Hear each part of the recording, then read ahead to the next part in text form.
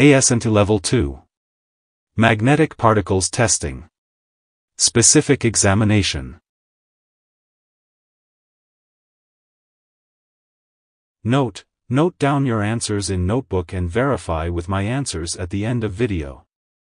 Magnetic particles testing is a non-destructive testing method used to detect surface and slightly subsurface discontinuities in ferromagnetic materials. It is an essential technique used in various industries such as aerospace, automotive, and manufacturing. The process involves applying magnetic particles to the surface of a material while it is magnetized. If there are any defects present, the magnetic particles will be attracted to them, indicating their location and size. The importance of magnetic particles testing cannot be overstated. It is a reliable and cost-effective way to ensure the safety and integrity of critical components in machines and structures.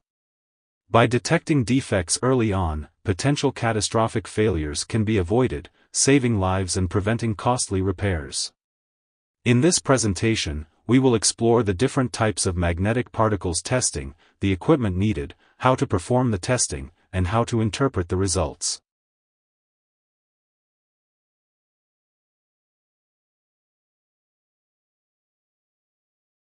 Question point 1, Demagnetization, ASTM E709-95 recommends a coil of ampere turns, 1000 to 3000.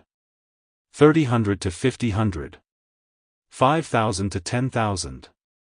10,000 to 15,000. Question point 2.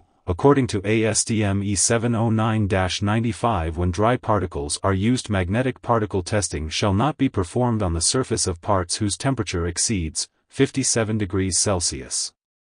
79 degrees Celsius. 158 degrees Celsius. 136 degrees Celsius.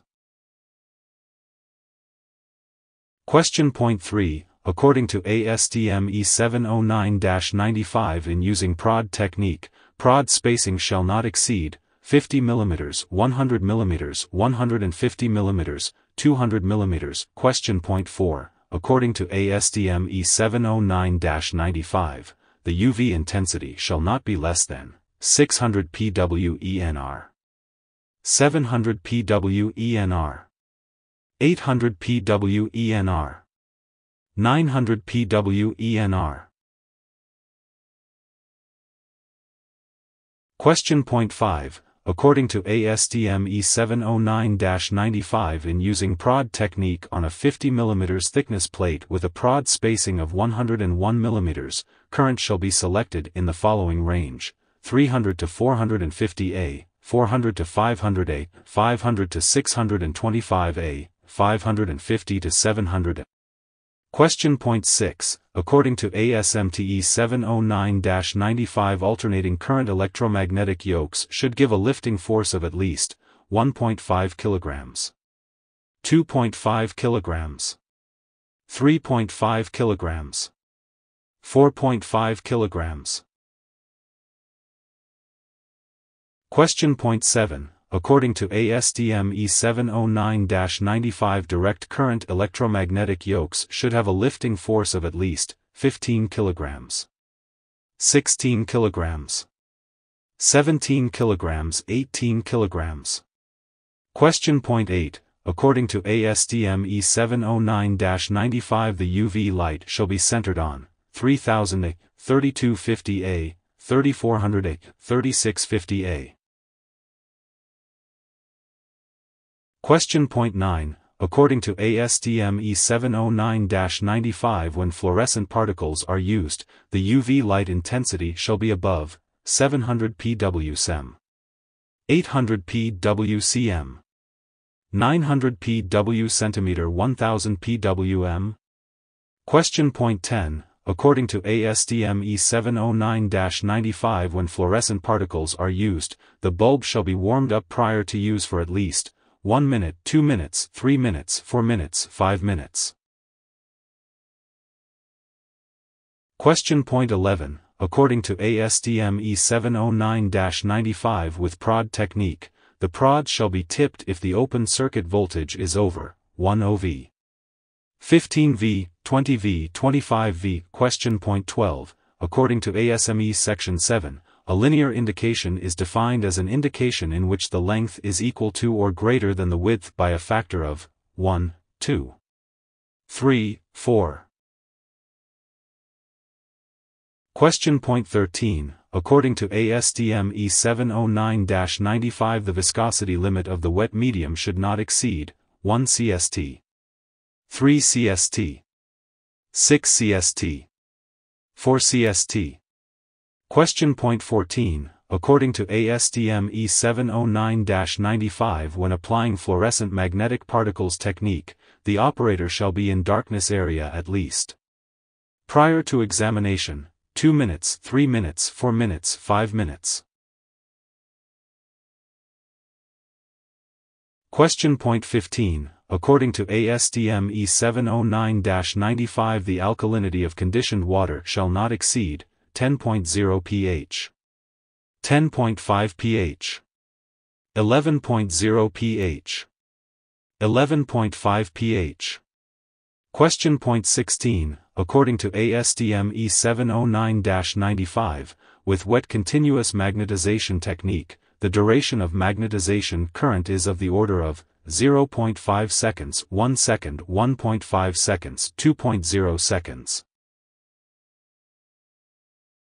Question point 17 according to ASTM E709-95 in using prods having a spacing of 19 mm and above, the magnetizing current shall be from 90 to 110 A 25 mm.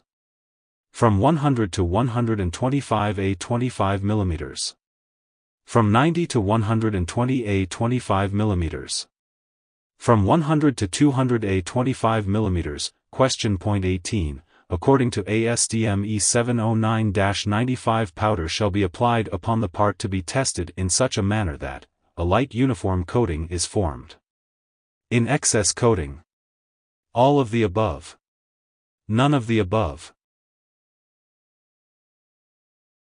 Question point 19. According to ASTM E709-95 before turning off current and examination, dry powder in excess shall be removed by a dry air current. Kept in place. All of the above. None of the above. Question point 20. According to ASTM E709-95 demagnetization can be performed by decreasing alternating current, reversing direct current. All of the above. None of the above. Question point 21. According to ASTM E709-95, Table 3, alternating current electromagnetic yokes must have a lifting force of at least 3.0 kilograms. 3.5 kilograms. 4.0 kilograms. 4.5 kilograms. Question point 22, according to ASTM E709-95, Table 3, direct current electromagnetic yokes must have a lifting force of at least 15 kilograms. 16 kilograms. 17 kilograms.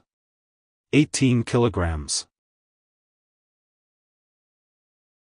Question point 23. According to API, the acceptable particle concentration of wet particle solution for fluorescent particles is 0.1 to 0.4 milliliters by volume. 0.1 to 0.5 milliliters by volume. 0.1 to 0.6 milliliters by volume. 0.1 to 0.7 milliliters by volume.